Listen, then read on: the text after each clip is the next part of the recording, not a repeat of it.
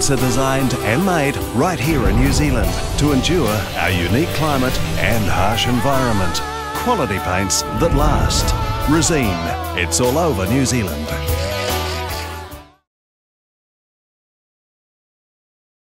Kei aku nui, kei aku rahi, tēnā rā koutou katoa. I wish you all a warm welcome to the presentation of the 2020 Wellington Architecture Awards, proudly brought to you by Te Kāhui Whaihanga New Zealand Institute of Architects. This is the fifth in this year's series of local architecture awards that celebrate the best architecture in the regions covered by the Institute of Architects' eight branches. Normally, these awards are announced at events attended by architects, clients, builders, and consultants, all the people who make architecture happen. But of course, this is not a normal year, and we're all having to do things differently. But as the whakatauki has it, ka mate kainga tahi, ka ora kainga rua. When one house fails, build another.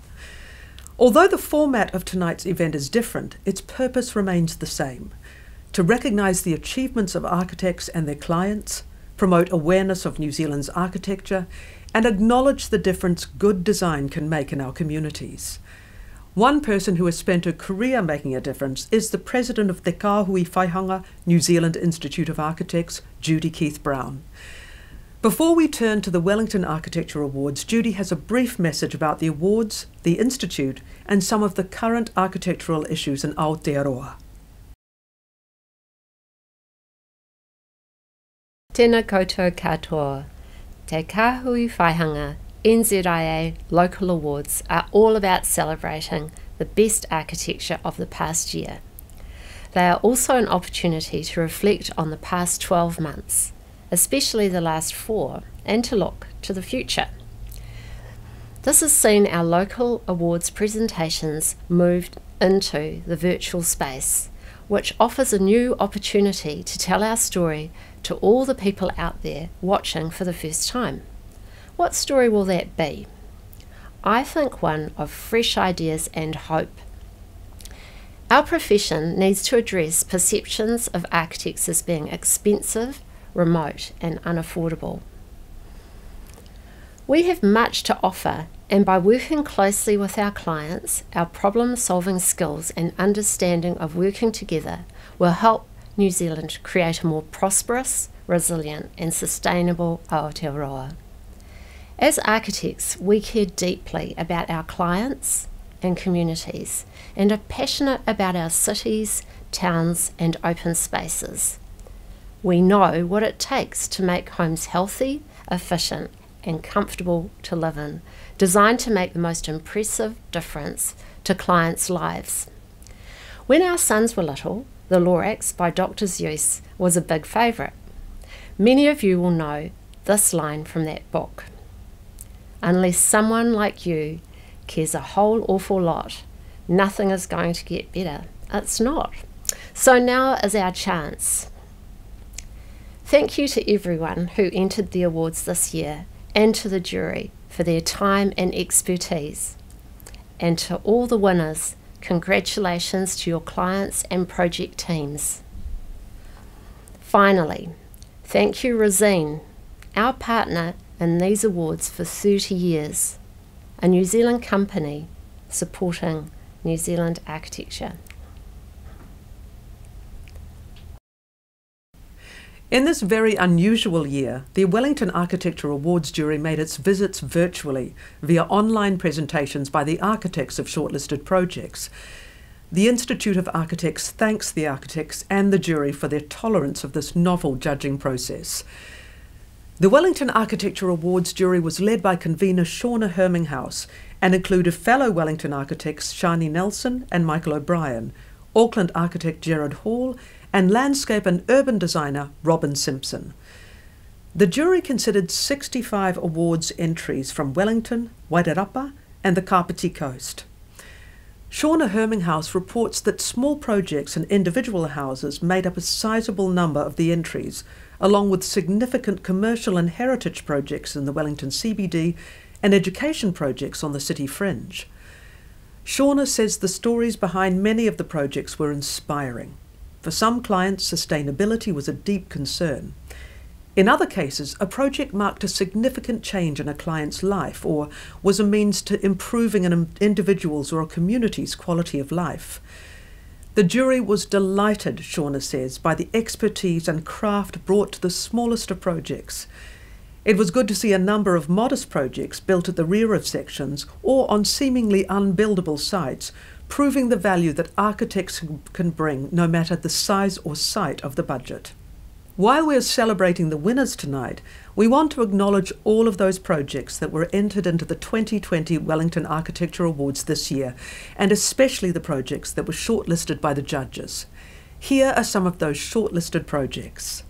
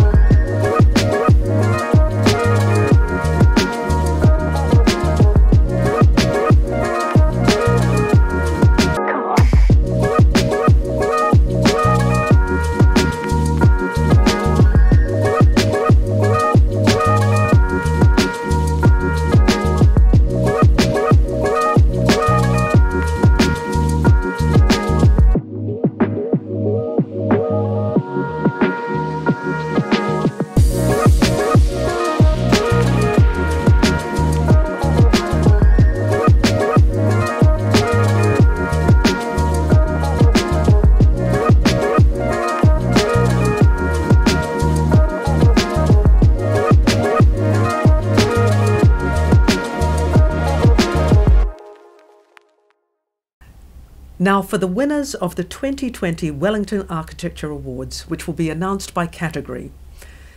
The first awards announced are in the category of commercial architecture. The winners are Antipodes Skincare Heritage Refurbishment by Architecture Workshop.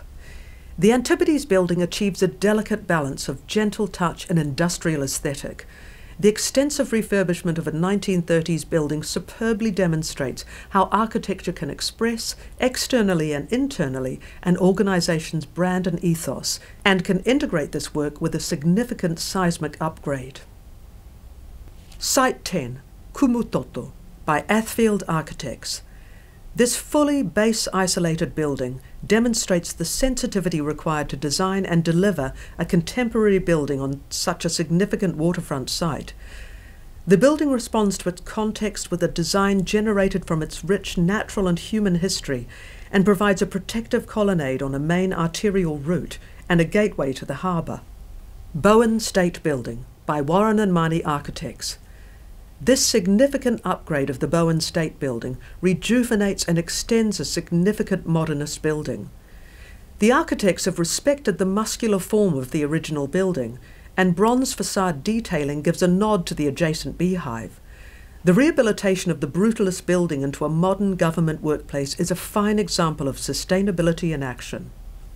There is one winner in the education category. The award goes to Thorndon School by McKenzie Higham Architects. Thorndon School skillfully gleans every bit of space from an irregular and tight urban site. The architecture helps create and express a sense of community, and the successful engagement with mana whenua and the prioritisation of the children's experiences is evident in the sophisticated exterior and playful interior. The awards in the category of heritage are Antipodes Skincare Heritage Refurbishment by Architecture Workshop, a beautiful restoration of a heritage 1930s facade and internal entry stair, and the reactivation of the building as the base for New Zealand company Antipodes has revived this building's graciousness. The refurbishment overlays new materials, textures, and themes with sensitivity while accommodating a modern commercial environment. Harbour City Centre Annex by Herriot Melhuish O'Neill Architects.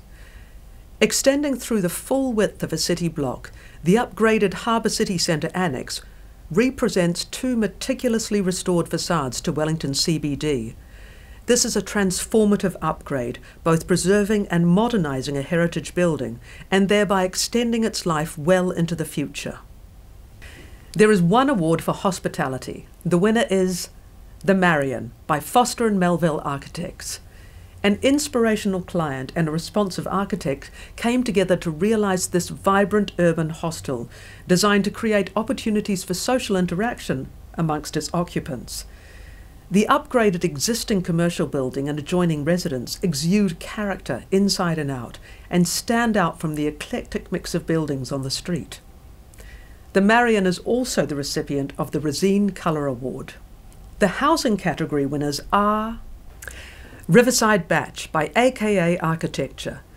This simple, unadorned but skillfully composed bach was designed and built to test a 7 metre by 7 metre prototype for future use as infill and affordable housing. Scale and detail are key to this beautiful timber clad bach that uses small dwelling tactics to achieve comfort and flexibility within a skillfully composed and detailed envelope. Paitawa Beach House by Andrew Sexton Architecture. This house's beauty comes through its craft and the contrast of a rugged timber and concrete exterior with refined interior details and finishes.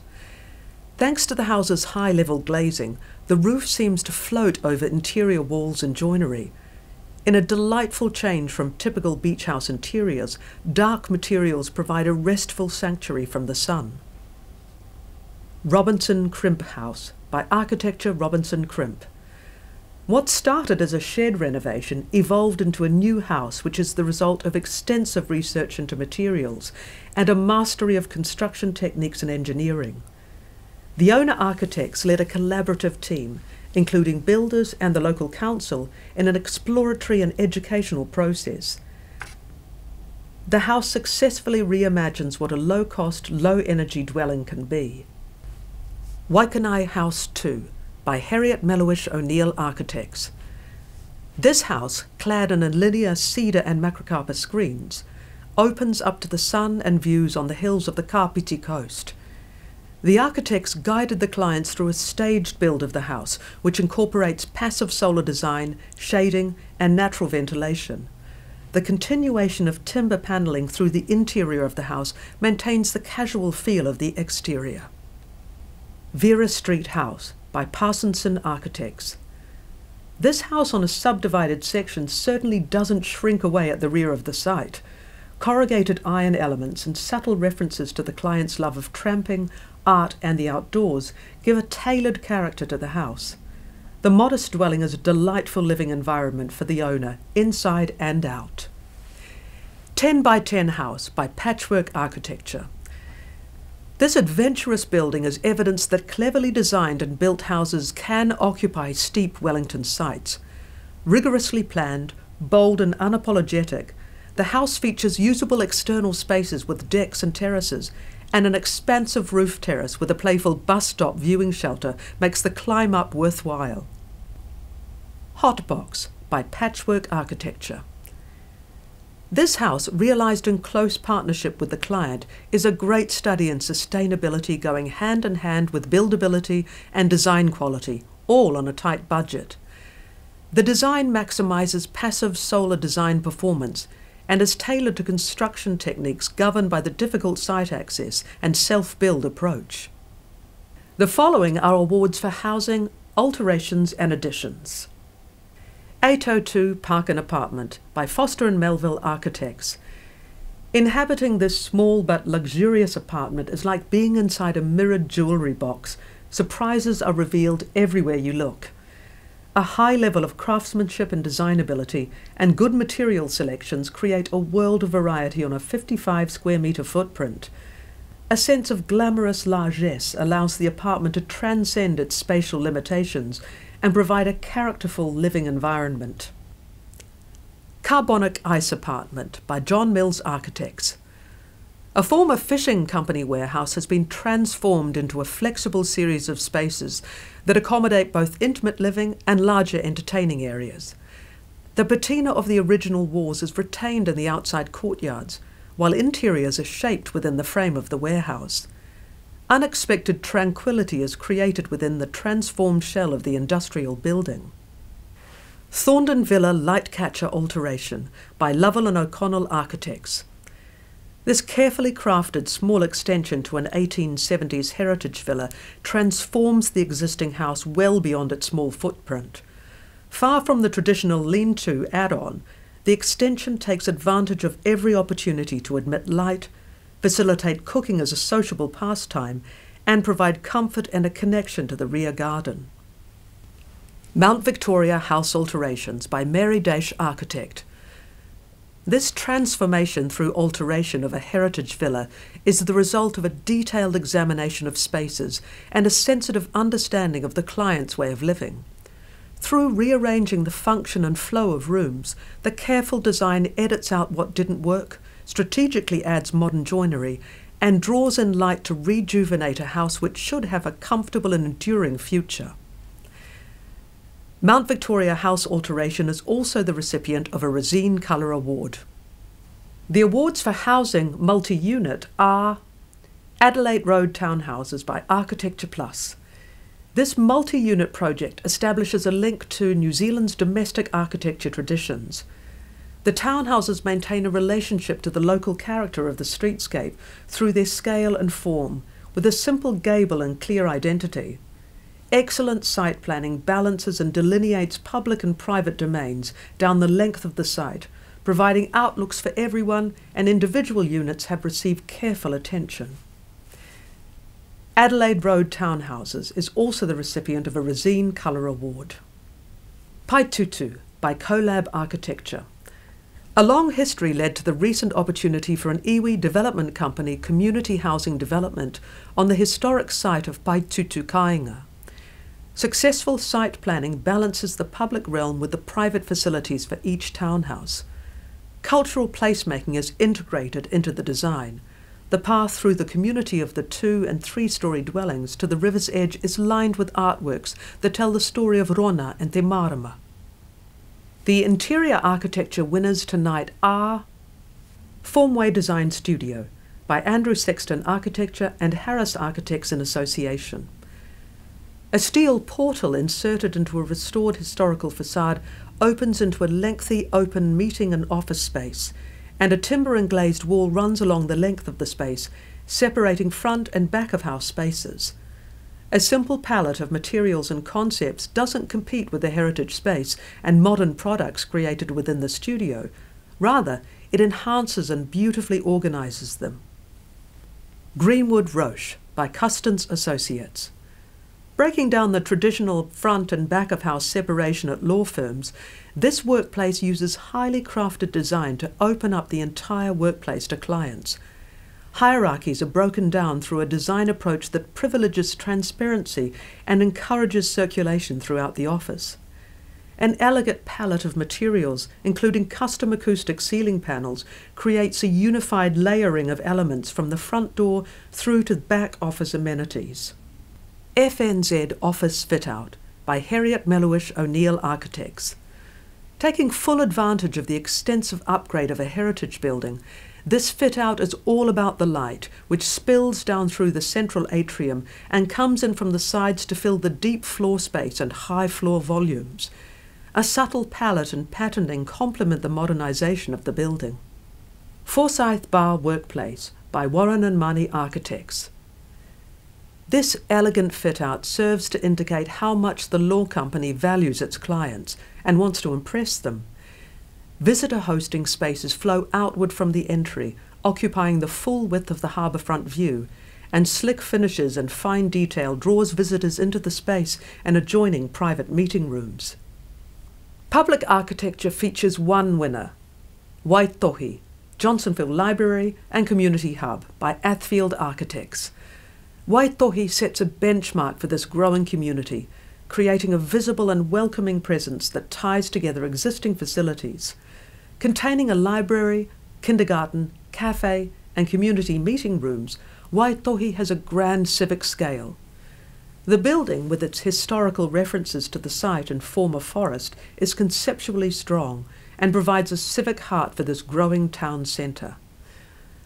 The final awards are in the category of small project architecture.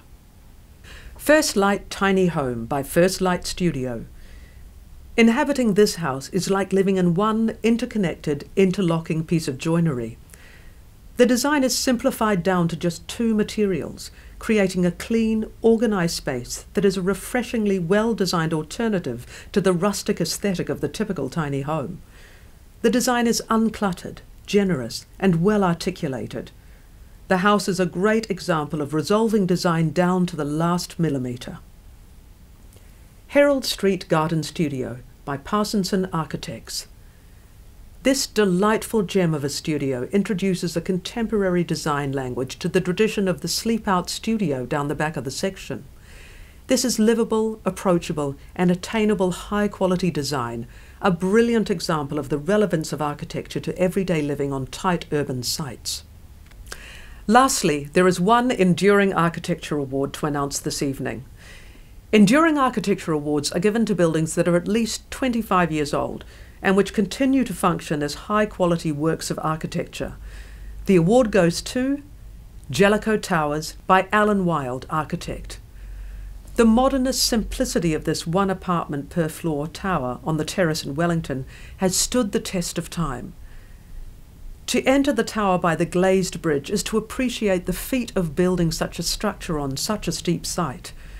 Its recent upgrade should allow this landmark building to stand sentinel for a long time on the hill above Wellington, where it is an outstanding feature of the city's skyline.